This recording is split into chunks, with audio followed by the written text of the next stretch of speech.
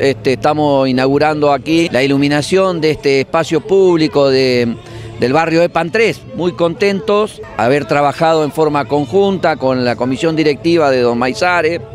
y la participación de los vecinos, no solamente del barrio de Pan 3, sino de barrios aledaños, porque la iluminación de este, de este lugar